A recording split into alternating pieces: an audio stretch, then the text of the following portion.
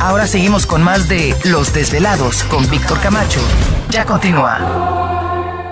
Sal y vale, seguimos en el programa de Los Desvelados, una noche interesante y por supuesto líneas telefónicas siguen abiertas. Es el 562-904-4822 de la República Mexicana 800-681-1847. A través del correo electrónico pueden escribirnos desveladomayor.gmail.com Y tenemos a Luis en la línea telefónica desde Colorado. Ah, Luis, ¿qué tal? Muy buenas noches, bienvenido al programa de Los Desvelados, ¿cómo te encuentras?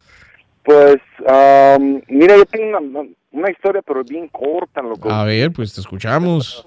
Bastante. Mira, um, en una ocasión yo trabajaba en un taller de, de un taller de estos donde soldan, ¿verdad? Entonces yo hacía el trabajo general de este lugar.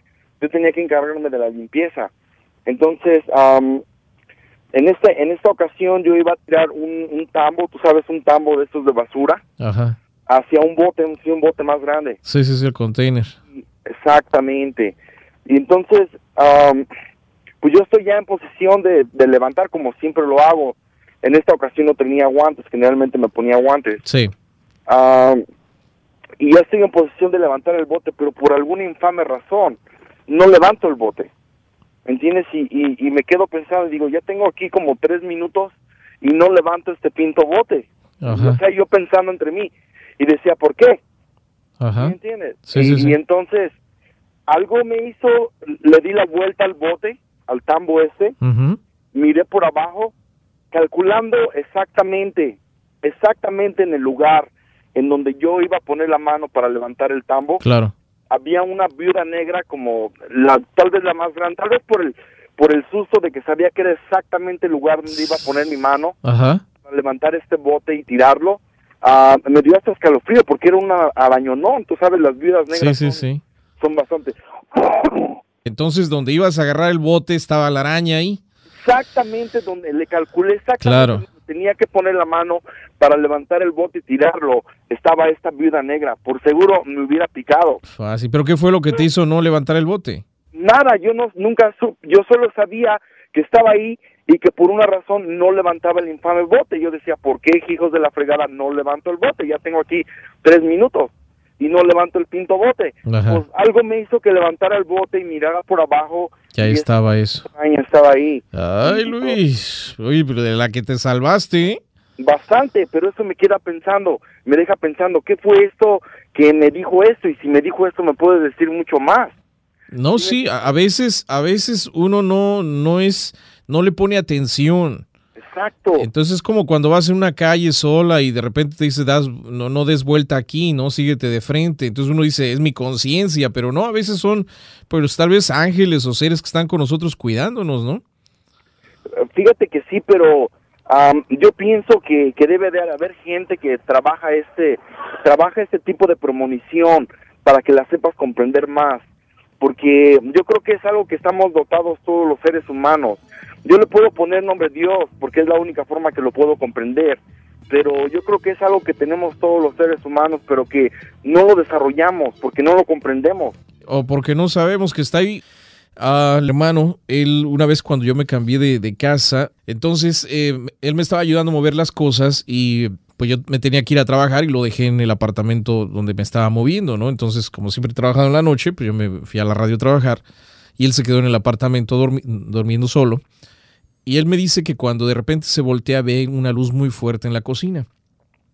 O sea, muy radiante y, como que quiere abrir los ojos. Estaba él dormido, ¿no? Pero como que se despertó y dice que vio una persona que va entrando con una caja. Hace cuenta que está cargando una caja, como moviéndose también, ¿no?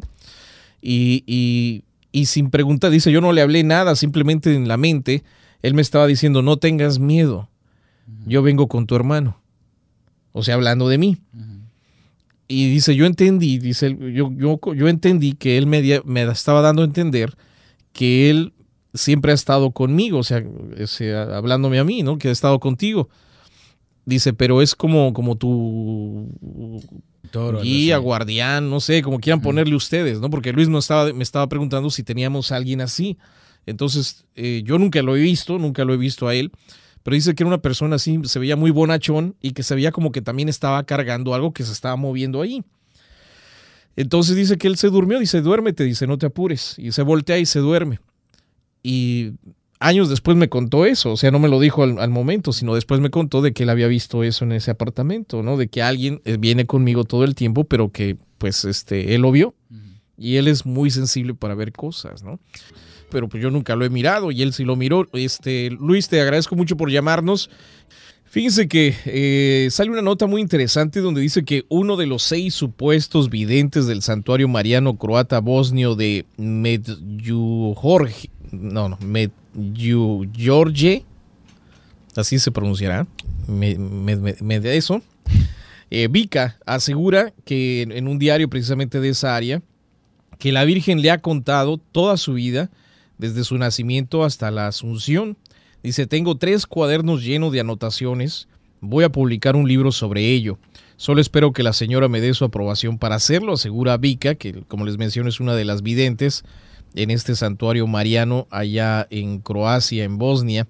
Asegura Vika en una edición eh, festiva, ¿no? Con motivo de la Asunción. Dice, según habían dado a conocer los franciscanos locales, hace 24 años la Virgen María se apareció en la localidad de Med Jorge, en el sur de Bosnia-Herzegovina, a seis niños, uno de ellos era Vika. Desde entonces, la Madre de Dios se aparece a Vika cada día durante varios minutos, aunque a los otros niños videntes solo de vez en cuando, según el diario menciona esto, o sea que ella es la, la, que tiene ahí la vara alta, ¿no? Eh, George se convirtió desde aquella supuesta aparición en uno de los más conocidos santuarios marianos de la región, con la asistencia de los franciscanos locales, aunque no reconocido por la Iglesia Católica como lugar de la verdadera aparición. Algo muy semejante a lo de Fátima, ¿no?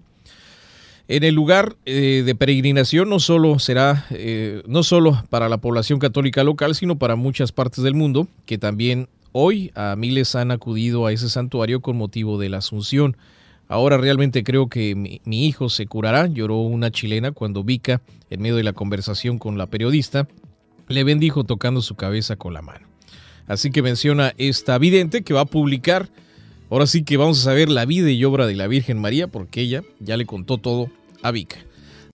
Yo creo que el, tema que tocamos acerca de, de, la ayuda que nos dan los ángeles y luego lo que me mencionó, nos mencionó Luis de Denver, de estos personajes que son, póngale usted ángel de la guarda o eh, maestros espirituales o guías espirituales que están con nosotros.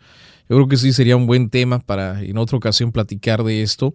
Si alguien ha tenido contacto con estos guías espirituales, ¿no? Que posiblemente muchos le digamos que es nuestra conciencia, aquellas voces o susurros que escuchamos que nos dice no hagas esto, no hagas el otro, vete por aquí o no, vete por allá. Y que a veces uno dice, pues es que es mi conciencia que me habla. Pero posiblemente sean estos seres, estos eh, guías, estos ángeles, guardianes, que de repente pues están cerca de nosotros y no, no tenemos la oportunidad de, mirarlos, ¿no? Y que sí sería interesante poner atención a las, a las voces, a los mensajes de estos eh, seres que están cerca de nosotros todo el tiempo y que nos ayuda, ¿no? Cuando más los necesitamos muchas veces. Fíjate que no terminé de leer la nota de esta muchacha vidente Vika y me llama mucho la atención la parte final porque dice que ella todos los días, por algunos minutos, mira a la Virgen.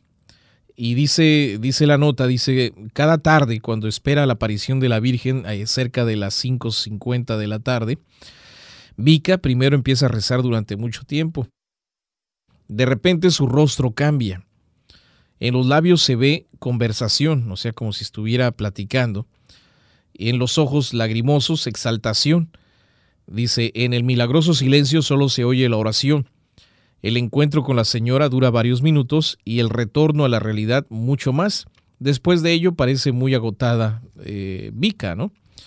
Aunque no quiso revelar los secretos de la Madre de Dios, ha revelado a los videntes que George ni los detalles de su vida. Vika describió eh, cómo aparece la Virgen cuando se le presenta. Dice, Nuestra Señora siempre tiene un vestido gris, un velo blanco, una corona de estrellas, ojos azules, cabello negro, pómulos rosáceos, levita en el aire sobre una nube gris y no pisa el suelo. Es la, es la manera en que Pica describe pues la aparición que ella tiene de la Virgen María, eh, está evidente, ¿no? Pero pues vamos a la pausa y regresamos con más del programa de Los Desvelados. Los Desvelados con Víctor Camacho regresan con más en cuestión de minutos. No te vayas.